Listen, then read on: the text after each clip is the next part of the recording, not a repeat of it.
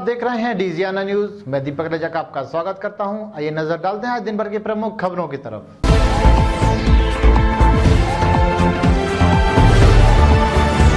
कहते हैं कि एक अच्छे समाज की स्थापना एक अच्छी सोच और संस्कारों से होती है। ऐसी ही एक अच्छी सोच और जुनून के साथ पटना, बिहार और झारखंड की एनसीसी की दो छात्राएँ सालगिरह से भारत यात्रा पर निकली हैं। आपको बता दें कि ये दोनों छात्राएँ गायत्री मुर्मू झारखंड से और हर्षा कुमारी पटना, बिहार से हैं। यह दोनों ही छात्राएँ एनसीसी की कैडेट हैं।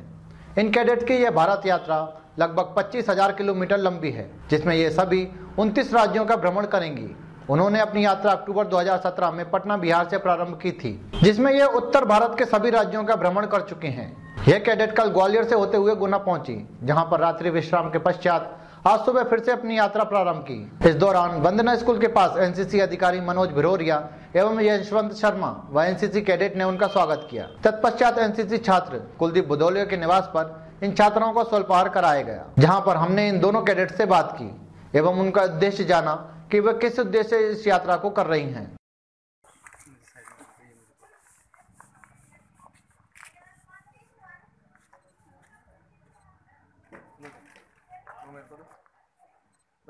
Na?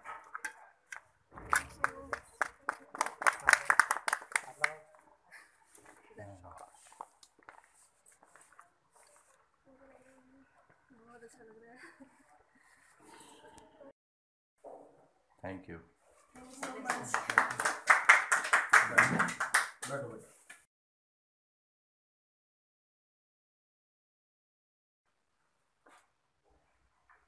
बस डर लगता है जब ये पूरा फेस इतना ढकी रहती है और कुत्ते इसको देखे भागना स्टार्ट कर देते हैं लगता है कोई चोर जा रहा है। जिसकी वजह से मैं भी डर जाती हूँ भाग मुड़ भाग मुड़ फिर मैं रात में बोलती अपना फेस हटा के चलाया कर अदरवाइज़ ऐसा कोई डर ही नहीं लगता है। एक्सपेडिशन की शुरुआत इसलिए की थी ना क्योंकि एक तो वो हम्म, कोई नेवी कैप्टन निकली है वर्ल्ड टूर के लिए पता ही होगा।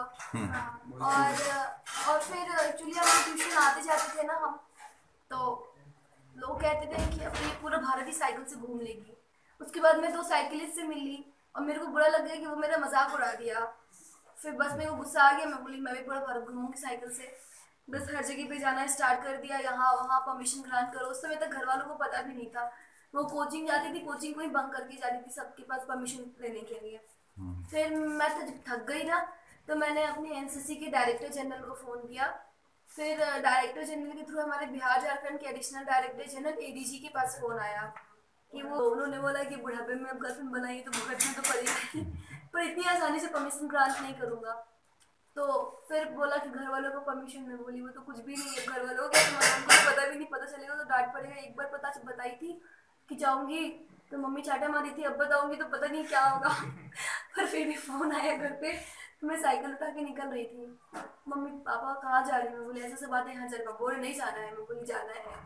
पापा बोले, मैं भी चलूँगा। बोली, साइकिल पे बैठ जाइए। कहते, नहीं, मैं ऑटो से आऊँगा पर मना करूँगा। वो पूरे गुस्से में थे और मैं उनको बोली, ठीक है, जाना है तो साइकिल पे बैठ जाइए। वो और गुस्सा हो गए। कहते, मैं ऑटो से आऊँगा, लेकिन वहाँ पे जाके मना करूँगा कि तुम्हें कहीं नहीं जाना है, चाहे वो प्राइम मिनिस्टर भी हो। लेकिन वहाँ पे जाने के बाद हमारे एडीजी ने उसको मतलब समझाया, पापा को समझाया कि इसको पहले थकाऊँगा, फिर बाद में ये जिद पे अड़ी है शांत हो जाएगी, नहीं जा पाएगी। लेकिन बाद में पापा रेडी हो गए, ठीक है। पापा को भरोसा हो गया कि अब जिद पे रही है, वो तो रोक नहीं पाएँगे मेरे को अब, क्योंकि मैं बहुत ज़्यादा जिद पे अड़ चुकी थी।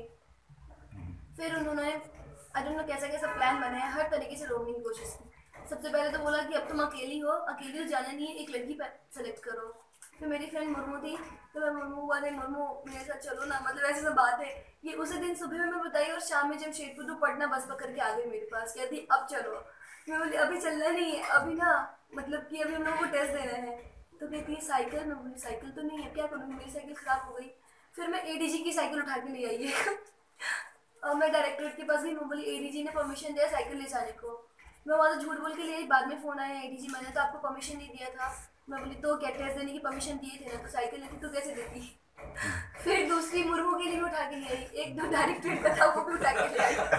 तो मैं एडीजी को बोली कि वो कमांडर सर ने बोला है कि तुम ये साइकिल ले जाओ। तो उन्होंने ऐसा बोला है, मैं बोली हाँ। तो झूठ तो नहीं बोल रही पिछली वाले से मैं बोली, नहीं, ऐसा कुछ भी नहीं है।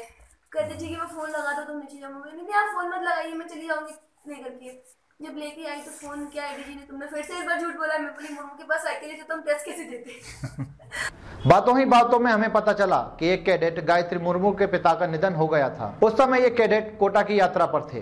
बाद में अपनी यात्रा को वहीं रोककर वह अपने घर पहुँची और पिता के अंतिम संस्कार के बाद गायत्री ने अपने साथी के साथ पुनः ये यात्रा प्रारंभ की। वाकई काबिल तारीफ़ है इन कैडेट्स की यह हिम्मत कि इतनी बड़ी घटना के बाद भी उन्होंने अपनी यात्रा जारी रखी।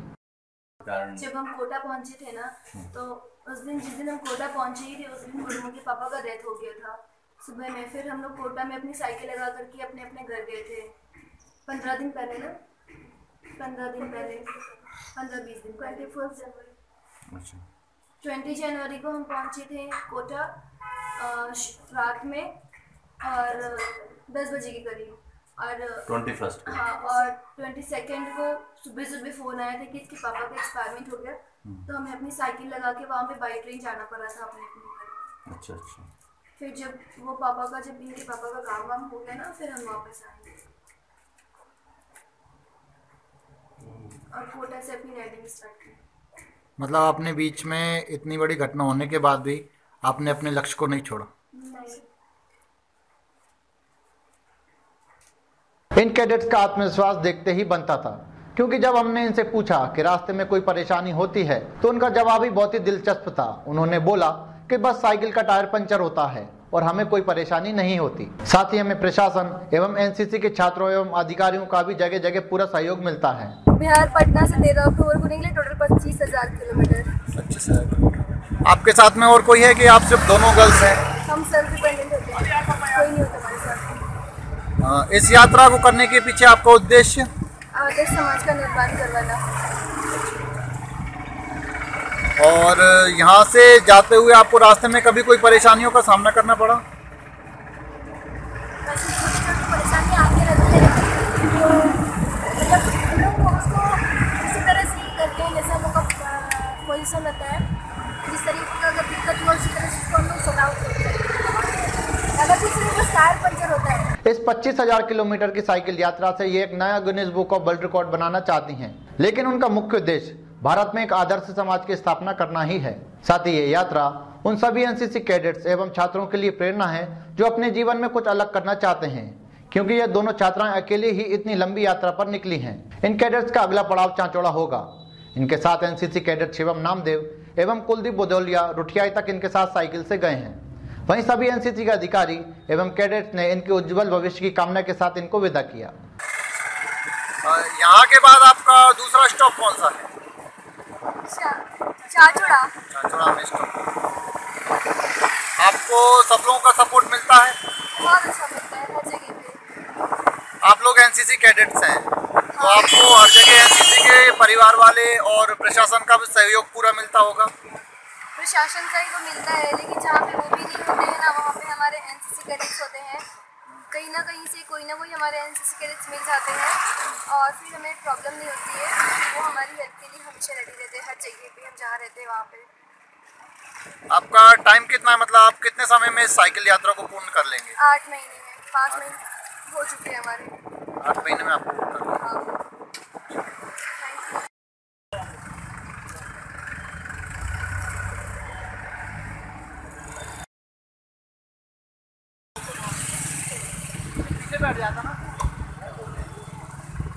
हाँ दिख रहा है। दोनों को कवर करना ठीक है?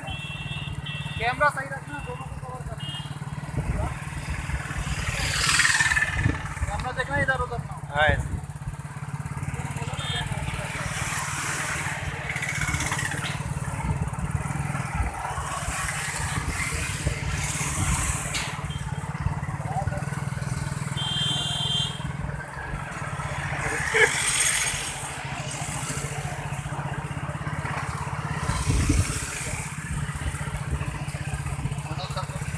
हाँ हाँ आ रहा है। एक वीडियो पर ही है ना? हाँ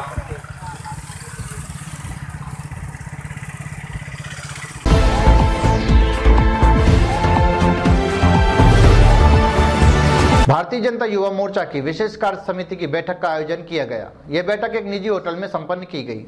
इस बैठक में सरकार की योजनाओं के बारे में विस्तार से चर्चा की गई। यह बताया गया कि भाजपा सरकार देश हित में और प्रदेश के हित में कितने कार्य कर रही है।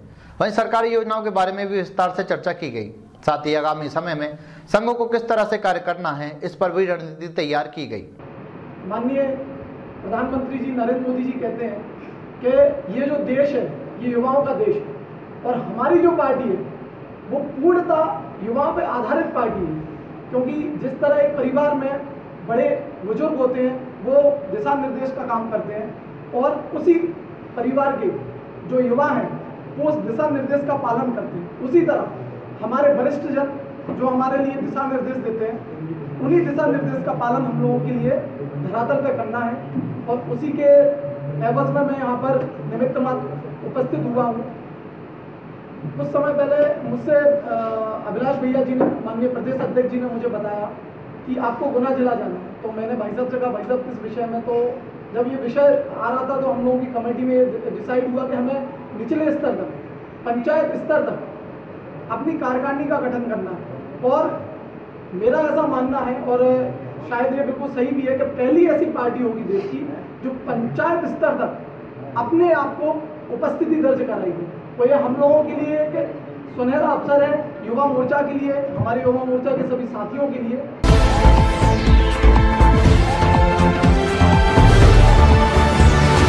ग्राम में लोदा लोधी समाज के अध्यक्ष के नेतृत्व में बैठक संपन्न की गई, जिसमें शपथ ली गई कि किसी भी तरह के छोटे मोटे कार्यक्रम में किसी भी व्यक्ति द्वारा ना तो नए कपड़े लेंगे और ना ही नए कपड़े किसी एक दूसरे को देंगे, या किसी रिश्तेदार के कपड़ों का लेन देन करेंगे। इसके साथ यह भी कहा गया कि महिला एवं बहन बेटियाँ किसी अन्य समाज में या दूसरे गाँव में काम करने नहीं जाएँगी। यदि समाज का कोई भी व्यक्ति इस निर्णय को नहीं मानेगा तो उसे समाज के किसी भी कार्यक्रम में भाग नहीं लेने दिया जाएगा। वहीं बहन बेटियों को शिक्षा भी अनिवार्य करने का संकल्प भी लिया गया। बहन बेटियों की रक्षा हम करेंगे हम करेंगे। हमारे माता पिता का हम सम्मान करेंगे। और हनुमान जी महाराज हनुमान जी महाराज भैया अब सबने शपथ ली है। पूरे गाँव की रक्षा हम करेंगे। यहाँ इस बात पे खड़े उतरने चाहिए। तो अब आपका नाम आज से पूरे मध्य प्रदेश में होगा। पूरे मध्य प्रदेश में होगा। अब इसमें अगर आपने अगर गलतियाँ करी तो वो भी गलत नाम नहीं होगा। ठीक है ना यार आपने गलती कर रहे हो। तुम तो कहीं गाँव में, अब मेरे संग जो भी और सक्रिय होकर काम करना चाह रहे हैं। वो मेरे से आगे बढ़ मिलना और क्या नहीं यार पूरे मध्य प्रदेश हमें जाने जनता। आज जैसे मेरे ऊपर से आप लोगों ने बनाया, आप सबने तो मैंने अपनी पहचान भोपाल ग्वालियर का टोटल वज़न परिचय सम्मेलन सब लोगों के क्योंकि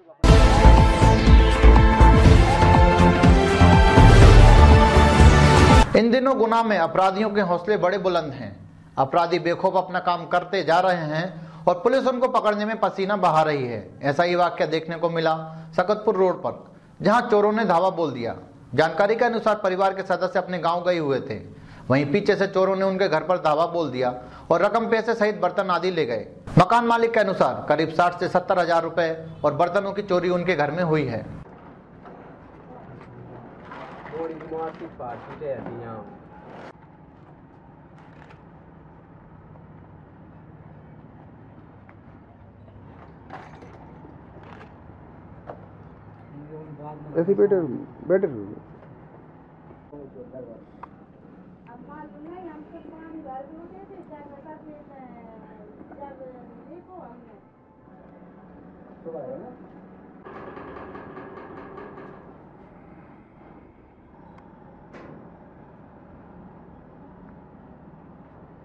च- चोरी हो गई हमारे घर पर हम गाँव चले गए थे? पापा जी शांत हो गए थे वहाँ पर करीबन क्या क्या गया है आपका सर सामान कुछ रकम भी है पैसे भी हैं बर्तन बर्तन गैस की टंकी है गैस की टंकी है। गैस की टंकी पंखा पंखा मंखा है। टीवी। सत्तर अस्सी हज़ार के आसपास के।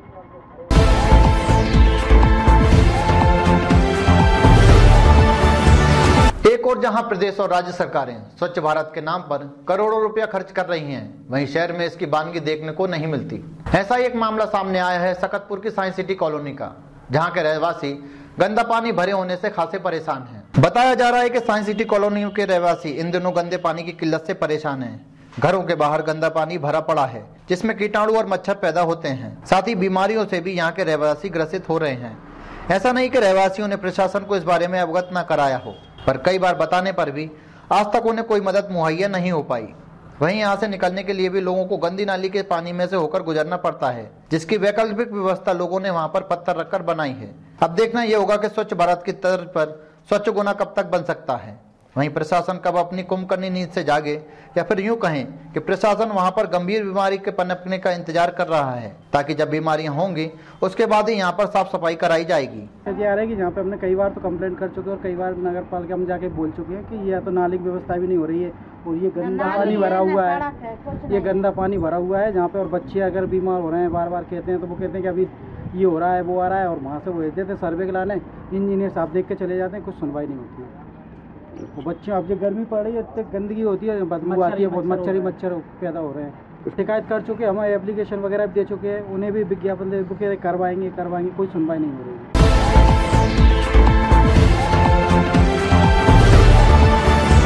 चांचौड़ा में पटवारी राधाकृष्ण अहिवार को किया गया निलंबित। शासकीय कार्यों में लापरवाही किसानों की ज़मीन में हेराफेरी एवं उदासीनता एवं वरिष्ठ अधिकारियों के आदेश का उल्लंघन करने के चलते आज किया गया निलंबित। तहसीलदार चाचौड़ा के प्रतिवेदन पर एसडीएम नीरज शर्मा ने उनके निलंबन का आदेश जारी किया।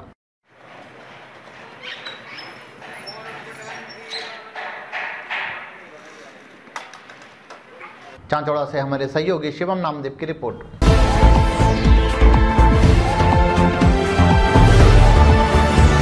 अपनी विभिन्न मांगों को लेकर प्रयासरत अतिथि शिक्षक आज से अनिश्चितकालीन हड़ताल पर चले गए। म्याना संकुल के सभी अतिथि शिक्षक एकत्रित होकर शासकीय उच्चतर माध्यमिक विद्यालय में ज्ञापन देने पहुँचे। जिसके बाद अनिश्चितकालीन हड़ताल की घोषणा की गई। सब म्याना संकुल पर सभी अतिथि संकल्प लेते हैं कि आज से हम सभी स्कूल जाना बंद कर देंगे। यदि सरकार हमारी नहीं सुनती तो अनिश्चितकालीन हड़ताल करेंगे। साथ ही शिक्षा के मंदिर की पूजा करते हुए लेकिन विद्यालय नहीं जाएँगे। और सरकार का विरोध एवं चुनाव के मौसम में बहिष्कार करेंगे। ये हम प्रतिज्ञा लेते हैं। म्याना से हमारे सहयोगी सत्येंद्र तिवारी की रिपोर्ट।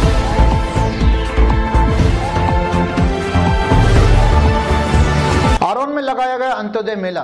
केवल खाना पूर्ति मात्र था, क्योंकि यहाँ पर वास्तविकता में जिन लोगों को लाभ मिलना चाहिए था, उन्हें लाभ नहीं मिला। ऐसी ही एक महिला, जिसे कलेक्टर से मिलने नहीं दिया गया, वह भी निराश होकर अंत्योदय मेले से वापस लौट आई। वार्ड क्रमांक तेरह में रहने वाली कमलाबाई विधवा है, और वह अपने हक के लिए अंत्योदय मेले में पहुँची थी कि उन्हें भी शायद सरकार की किसी योजना का लाभ मिल जाए। पर हद तो तब हो गई जब कमलाबाई को कलेक्टर राजेश जैन से मिलने भी नहीं दी गया। वहीं कमलाबाई निराश होकर अपने घर लौट आई। वहीं डीजियाना के रिपोर्टर चंद्रेश रघुवंशी ने उनसे खास बातचीत की और जानने की कोशिश की कि आखिर पूरा मामला क्या है। टंकी के लाने गई थी। कुठी लाके लाने गई थी वो कछु नहीं मिल रहा? अच्छा। तीन तीन बीघा वाले सौ सौ बीघा वाले ने टंकी दे रहा वो टंकी नहीं दे रहा है। कौन उतार वो तहसीलदार हल्का रखे तो चढ़ रही है। आ रहा है उनकी मैं चढ़ूँगा। नहीं नहीं चढ़ेगी। वो ये पुलिस वो। वर्दी पैर में पैर के मैं सोई हो जाऊँगी ऐसी मत चढ़।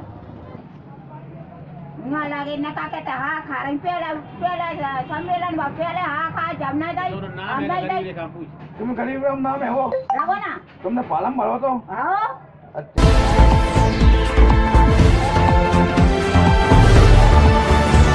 कलेक्ट्रेट परिसर में आज भावांतर को लेकर विशेष बैठक का आयोजन किया गया। इस बैठक में जिला आपूर्ति अधिकारी एवं एनआईसी प्रभारी मौजूद थे। बैठक में भावांतर योजना के तहत जिम्मेदार अधिकारी कर्मचारियों को इस संबंध में दिशा निर्देश दिए गए।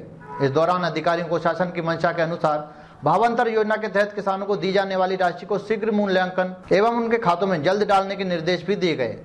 मज़े की बात तो यह रही कि इस पूरी बैठक में जिम्मेदार प्रशासनिक अधिकारी मौजूद ही नहीं थे।